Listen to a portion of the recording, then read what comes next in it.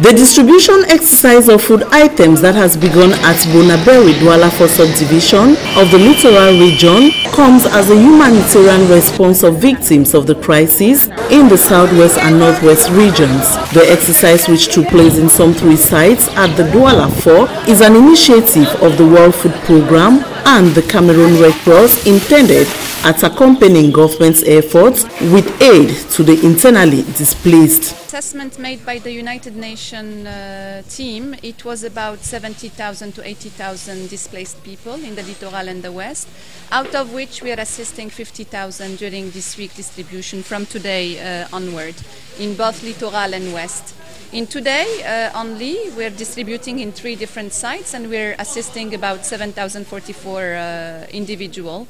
uh, with um, a food basket which is enough to last 40 feeding days and provide 2,100 kilocalories uh, to the person. The donation, which constitutes of rice, cereals and vegetable oil, has been distributed to about 7,000 internally displaced in Bonaberi, an initiative which victims describe as God sent. Very grateful to this Red Cross people for the kind suggestion they took to help us. It's really kind, it's really good, and I pray they continue to reach out to